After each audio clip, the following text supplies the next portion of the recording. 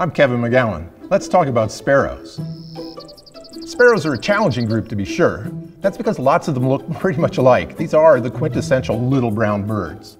But sparrows are everywhere, so it's definitely worth getting to know them. In this course, I'll go through the most important things you need to know about sparrows. I'll introduce all the sparrows commonly found in North America and help you through some difficult IDs.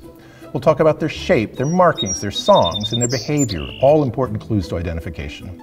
You get the chance to practice what you learn with our quizzes and our Snap ID tool, which you can use over and over again to hone your powers of Sparrow ID.